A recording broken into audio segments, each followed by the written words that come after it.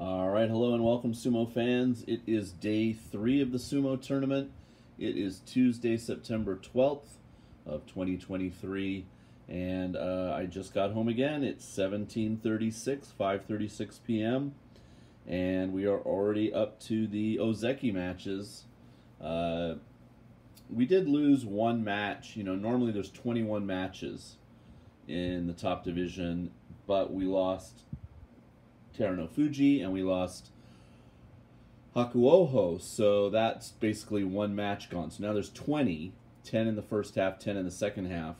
And it feels like they stretch out these last few matches uh, quite a bit. You know, I'll start the video uh, and it, it can sometimes be five minutes before the match starts. Um, and I think they do that. You know, the obvious logical reason is they need to build in that buffer of time in case there's redos, mono-iis, you know, judges conferences, uh, anything that's unforeseen, uh, matches that could take a lot longer than, you know, some of the shorter matches that are over in 10 or 15 seconds. So they just account for that, and then when they get to the end of the day and there's only, say, three matches left, like now, uh, they're like, oh, well, you can just kind of very slowly walk back to your corner and really kind of stretch it out and milk it a bit uh, because we are we've got plenty of time because we we do we have 22 minutes before 6 p.m. for three matches, which is generous to say the least. So I wish they didn't do that, and that I got to see Kotonowaka's match and you know Abi's match and so on and so forth. Uh, but that seems to be the way it's going to go this tournament. I'm probably going to get home just in time for the three Ozeki matches most days. And then on Saturday and Sunday, I'll have lots more coverage. So this is Takakeisho, the Ozeki, the first Ozeki to see action here on day three. One and one record, taking on another man with a one and one record. That's Maegashira one, Meisei. Meisei will be on your uh, left. And he's also wearing black. So uh, this one is about to start. And then after this, Kirishima has Hokutofuji. And the final match of the day is Hoshoryu versus Komusubi Tobizaru. And I will give you a rundown on some of the winners and losers earlier. Oh, excuse me. Oh, am I making all of you yawn by doing that? Sorry about that. Uh, yeah, uh, I'll give you a rundown, winners and losers from earlier in the day, probably in the next match. And uh, the contest is closed. So now hopefully you got, I think about 750 people signed up, which is great. So uh, good luck to everyone. And I'll start posting the link to the public page where you can see how you're doing against everybody else starting on day five, which is Thursday the 14th.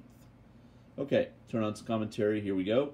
3人の大関がおります3日目最初に出てきたのは貴景勝です、まあ、大関という歴キャリアの中では3人の中では一番 大関の歴が長い貴景勝。対するは関脇経験者です。明生今場所は前頭の1枚目筆頭です。決して簡単な相手ではありません。軍配帰りました。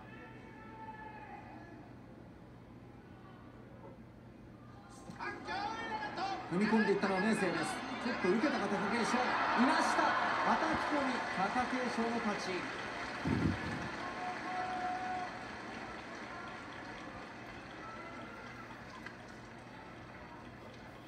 Didn't even look like Hataki Komi. It looked like he just stepped out of the way. 左から最後は叩き込みあるいは突き落としでしょうか貴景勝を応援しているファンの方喜んでいます決まり手突き落としを取りました Kyotoshi. So it wasn't Hataki Komi. 親 Okay. 方いかがでしょうか？うん、やっぱり貴景勝本調子じゃないですね。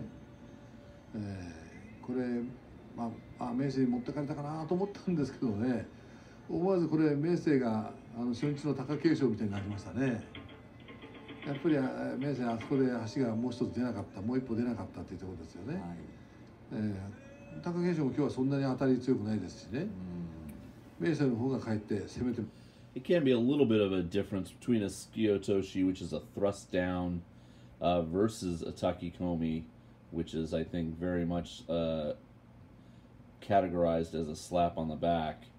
A slap down versus a thrust down. So there you go. All right. Two and one now for the Ozeki. Got to get his eight.